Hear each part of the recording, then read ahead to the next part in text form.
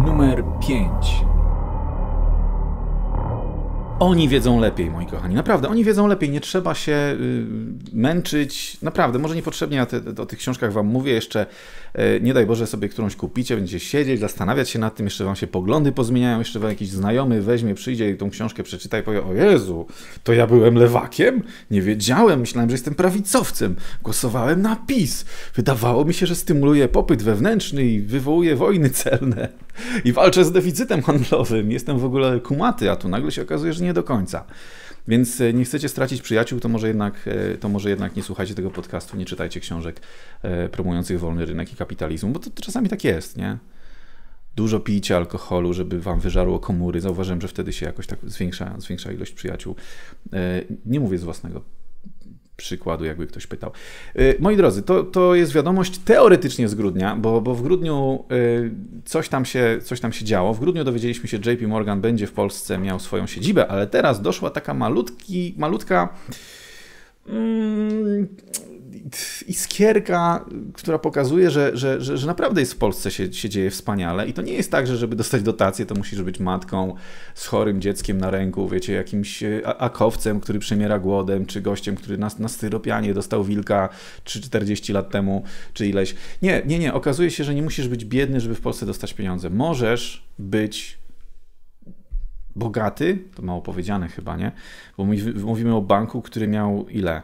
Eee, 2017 miał 24,5 miliardów dolarów zysku netto. 99,6 miliardów przychodów, 36, prawie 36, bez kilku drobniaków dolarów zysku, miliardów dolarów zysku operacyjnego i z tego nim zostało 24,4 na czysto miliardów. 24,4 miliardów na czysto. I ci goście to są bankierzy, ale to są tacy mega bankierzy. No kurna, nie ma się 24 czy prawie 25 miliardów dolarów na czysto zysku rocznie, jak się nie jest w czymś dobrym. Przede wszystkim. Zacznijmy od tego. Potem możemy przejść do tego, w czym jesteś dobry. I tu się okazuje, że mm, no, przydałby się lekki relatywizm, bo tobie może się wydawać, że jesteś zarąbisty, ale na przykład w którymś momencie amerykański Departament Sprawiedliwości nakłada na ciebie karę 13 miliardów czyli połowę tego, co ci tam rocznie udało się zarobić, to jest całkiem sporo. To jest całkiem sporo. E, potem w 2016 jeszcze dostali 264 miliony dolarów kary za korupcję w, w, takim programie Synowie i Córki. Nie wiem, czy to nie był reality show, aczkolwiek uważam, że to byłby fantastyczny reality show i prawdopodobnie dla pracowników tego banku to był reality show, ponieważ oni mieli coś na kształt arkuszy do śledzenia e, swoich klientów, a to nie chodziło o byle jakich klientów, o tam jakiegoś gościa, który tam wziął kredyt na kosiarkę. Nie. Mówimy o e, akurat w tym wypadku e, obywatelach państwa środka, ponieważ to byli, to byli bardzo zacni i bogaci i majętni i wpływowi Chińczycy, których synów i córki zatrudniał JP Morgan no po to, żeby się dogadywać z rodzicami, żeby mieć coś na kształt kontaktu, nie? takiego ciepłego, żeby być, jak to Donald Tusk mówił zawsze, w ciepłej pamięci. I okazało się, że na tym mieli zarobić około 100 miliardów dolarów. Na takim połączeniu. Ale wiecie, wiecie z drugiej strony y, y, to chyba nie jest problem ze strony banku, tylko ze strony, a, zawsze mi się tak wydaje, to, że to zawsze ze strony rządowej jest problem, że ta korupcja to jest skomplikowana sprawa, e, bo jeśli jesteś szefem banku, jesteś szefem prywatnej instytucji i zatrudniasz kogo chcesz, nawet niewykwalifikowanych pracowników, płacisz im, ponieważ chcesz się komuś przypodobać, mm, no okej, okay, możesz to zrobić. Nie, przepraszam, na tym poziomie wydaje mi się, że nic złego się nie dzieje. Tak serio, nie? Natomiast oczywiście okazuje się, że tatusiem tej dziewczyny czy chłopaka, którego zatrudniłeś i ona teoretycznie ledwo się ta osoba nadaje do odmieszania cukru w herbacie, a na dobrą sprawę gdzieś tam siedzi i zarabia gigantyczne pieniądze. Oczywiście siedzi i dalej miesza cukier, no bo przecież nie wpuścisz jej do Excela, nie? No come on. Nie byłbyś dobry, gdybyś to robił. Um, czyli daje, że jakiś tam bieda zlecenie, żeby tam A4 kartki na pół zaginała gdzieś tam na zapleczu, jest fajnie i ona zarabia milion dolarów miesięcznie, czy tam ileś. E, ale za to z tatusiem robisz interesy w tym czasie, tatuś cię lubi, ale co ten tatuś mo może zrobić w tym momencie? Jeśli ten tatuś jest właścicielem prywatnej firmy, Um, i stwierdza, ok, zatrudnili moją przygłupią córkę czy mojego debilnego syna i on sobie tam siedzi i, i zawija w sreberkę jak ten dziobak, jak ten świstak, no to fajnie, no przynajmniej ktoś się z nim zaopiekował. Ja teraz będę robił z nimi jakieś interesy i oni sobie na tym zarobią. No w sumie do, do pewnego stopnia, gdzie jest ofiara w tym przestępstwie, nie? Otóż ofiara pojawia się wtedy, jeśli ten tatuś jest ministrem, wiceministrem, marszałkiem Sejmu, kimś takim, politykiem zaangażowanym i tak dalej. Kim, kto jest wpływowy, komu społeczeństwo zaufało, że nie zrobi takiej rzeczy, że nie będzie e, postępował na, dobre, na dobrą sprawę, tak jakby, jakby to był jego prywatny interes. Nie? Tyle się mówi, że przydaliby nam się prezesi, e, przydali nam się politycy, którzy o państwie będą myśleć jako o gigantycznej firmie. Otóż, moi kochani, to może być, to może być pułapka. Nie idźcie tą drogą. Autentycznie, bo potem mamy reality show pod tytułem Synowie i Córki i w Polsce właśnie e, JP Morgan e, Pol, Edition Polska, to się jakoś tam będzie nazywać pewnie to reality show dostało 20,2 milionów dolarów y, ponoć na stworzenie y, od 3, około 4 tysiąca miejsc pracy, prawda? Y, plus biznesu. 3 do 5 tysięcy miejsc pracy. Innymi słowy, masz tu za darmo pracowników, no nie? Na, na czym polega ta dotacja? 20 milionów złotych, to jest ile? To jest 6 milionów dolarów? Do tego, do tego chciałem potem wrócić. Dostają goście po to, żeby zatrudnić ludzi, ponieważ, jak się okazuje, w sektorze bankowym, w centrum Warszawy jest tak ogromne bezrobocie, że trzeba dopłacać. Nie mówiłem o jakimś zadupiu na Zamojszczyźnie, na końcu świata, gdzieś w ogóle, gdzie ludzie już wszystko zjedli, co było do zjedzenia. Nie.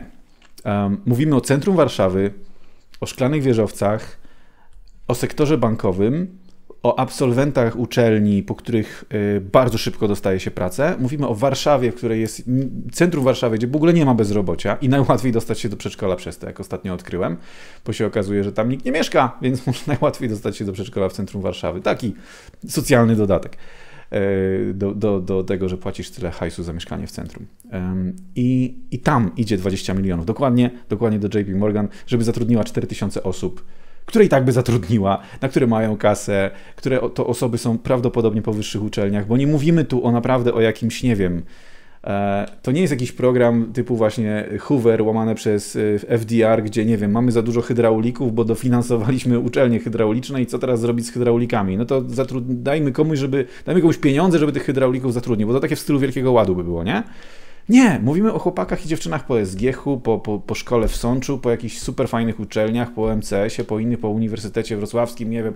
I słuchajcie, i, i to są ludzie, którzy naprawdę e, e, nie mają problemu ze znalezieniem pracy i te pieniądze na zatrudnienie ludzi, z którymi zatrudnieniem nie ma problemu, dostaje firma, która rocznie wyciąga 25 miliardów zysku netto. I ona dostaje od polskiego rządu, który jest tak przebogaty i w ogóle jest tak mega innowacyjny, jest tak zajebisty, ona od niego dostaje 6 milionów dolarów. Y, I czegoś, czegoś mi tutaj brakuje, bo jeśli ten bank naprawdę jest taki zarąbisty, to oni 6 milionów dolarów to mają nie na VAT, tylko na waciki w łazienkach, w, tym, w tych bankach, nie wiem, taki prawdopodobnie mają, nie wiem, mają jakiś budżet higieniczny, takie korporacje, żeby tam papier toaletowy się nie skończył, nie? Wiemy, że, że, że w Sejmie ostatnio były problemy, bo ponoć Ponoć e, żaden z dostawców papieru toaletowego nie spełnił e, wymagań, wymagań jakie stawiał Sejm w przetargu. Więc e, tak jak mówię, mówiłem to chyba w zeszłym tygodniu, ostrzegałem, ale powiem jeszcze raz, że jak będziecie iść na jakieś znowu forum wolności czy coś, to zabierzcie swoją rolkę, bo nigdy nie wiadomo, nigdy nie wiadomo. Program Rolka Minus się, Rolka Plus się zwinął póki co. Ktoś zwinął papier. Mógł być taki nagłówek. Przekręt na papierze. Rolowanie, do, nieważne. Y, dobra, to tyle. To tyle mam do powiedzenia a propos JP Morgan, ale wiecie, oni wiedzą lepiej.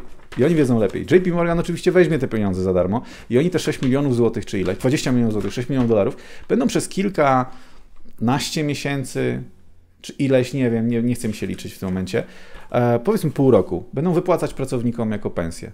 Innymi słowy, Polska daje pół roku e, pracę e, jako jako, jako, jako zachętę. Dajemy im efekt pracy tych ludzi, tych 4 tysięcy, 5 tysięcy osób, jako zachętę do otworzenia do, do, tutaj, tutaj, tej jednostki. No i czekamy w takim razie, ja czekam na, e, na jakiś dobry reality show, bo z pewnością, bo z pewnością coś takiego. E, no, nie wiem, być może, być może chłopcy tam w JP przeszli jakiś katarzis i teraz działają już, już po prostu tylko tak, jak, jak, jak, jak wcześniej nie działali. Nie wiem, miejmy nadzieję. E, ale co, póki co była dobra zabawa, więc, więc, więc co za problem. E, jeszcze uzupełniająca informacja, jakby ktoś pytał, skąd te 20 milionów złotych? No bo tak jak mówię znowu, to nie są duże pieniądze, nie? To boli, że taki rząd, który jest tak społecznie, socjalnie wrażliwy, e, E, wiecie, my wolnorynkowcy mówimy o tym, że rząd nie powinien dawać, zabierać ludziom pieniędzy po to, żeby dawać e, i zgodzę się tu nawet z ludźmi, nie wiem, typu, typu Adrian Zandberg, że no to jest jakiś, jakiś przekręt, żeby jeszcze te pieniądze dawać bankierom na obstawianie miejsc pracy w centrum Warszawy. To jest jakiś to, to jest kilka warstw nonsensu nałożonych na siebie i przekutych takim, takim szpikulcem, jak kiedyś księgowe przyklepywały sobie piątki ze sobą, e, nabijały różne takie notki. To jeszcze, żeby było jasne, e, jedna rzecz, 8 e, groszy netto do benzyny będziemy płacić, żeby zasilić fundusz niskoemisyjnego transportu. Już mi, się, już mi się nie chce tego komentować. Opłata paliwowa 8 groszy netto do benzyny to jest wzrost miesięcznych wydatków na benzynę o jakieś 2%, 2 punkty procentowe, tak? E, więc, więc y, jak mówią y, mądrzy ludzie z rządu, a jak mówią, oni wiedzą lepiej, to ponoć mamy tego nie odczuć. I tak na wszystkim. Ja myślę, że, że wiecie, jak się mówi o jednym, jednej setnej czegokolwiek, to ma wzrosnąć o jedną setną, to o jedną tysięczną, to coś. Tego się nigdy nie odczuwa. Tego się nigdy nie odczuwa autentycznie. Ale tu zapłacisz trochę więcej za benzynę, za benzynę zapłaci ten więcej, kto prowadzi interes, w którym ty kupujesz na przykład sobie coś, te waciki, e, czy coś innego, czy też pikulce księgowe. I, I, to gdzieś, gdzieś się odczuje, nie? No bo to nie, niemożliwe, żeby, żeby można było o 1% coś podnieść, czy o 2% i to nikt tego nie odczuje. Dlaczego nie podnieść o 10? Skoro to jest tylko 5 razy, 5 razy nic nie odczuje, 5 razy 0, jest dalej zero, nie? Więc podnieśmy więcej. Co, co oni się w ogóle, z czym się oni kierują? Fundusz niskoemisyjnego transportu. E, czyli znowu dotację dostanie e, Tesla żeby sprzedawać samochody nie po 400 tysięcy, tylko 380 tysięcy. Żeby sobie prosty polski, zwykły człowiek, zwykły podcaster mógł pozwolić wreszcie na samochód niskoemisyjny za 380 tysięcy złotych, a nie tłukł się po drodze Volkswagenem dwójką gdzieś tam sprzed 115 lat. E, no moment słyszałem, że, że właśnie najlepiej, na, na, najekologicznie jest kupować używane stare samochody, bo cały koszt y, tego footprintu, ten footprint energetyczny związany z produkcją samochodu jest bardzo duży. W przypadku e, samochodów elektrycznych jest to też powstanie baterii baterii, z którą jest największy problem. Ale to nieważne. I co jeszcze będziemy mieli? Coś nowego? Mm, mm, mm, nie? Nie? Spoko. Aha, nic. A, też na walkę ze smogiem będą iść te pieniądze. Wiadomo, jak coś trzeba przepchnąć, to trzeba napisać, że walczymy ze smogiem. Tyle. Nikt wtedy nie zadaje pytań. Słuchajcie, musimy lekko podnieść ten podatek na walkę ze smogiem. No to tyle. Fundusz Narodowy będą projekty wymienione w planie rozwoju elektromobilności, czyli kręcimy się w kółko i jeszcze oskładkowani będą ludzie, którzy e, podczas sezonu, jak się domyślam, teraz chyba nie jest sezon, z tego co patrzę, bo za oknem mam trochę pola, e, to w takim razie mm, będzie ten sezon najbliższy już, nie? Oskładkowanie ludzi, którzy pomagają przy zbiorach, którzy do tej pory pomagali na umowach o dzieło, a teraz będzie stworzony specjalny rodzaj umowy dla tych ludzi, który będzie im 42 zł miesięcznie zabierał. Nie odczują tego. Spokojnie, nie odczują tego. To jest tylko 42 zł miesięcznie. Jak będzie 84, to będzie tylko dwa razy nie odczują, więc nadal tego nie odczują, więc nie ma się czym przejmować tak na dobrą sprawę.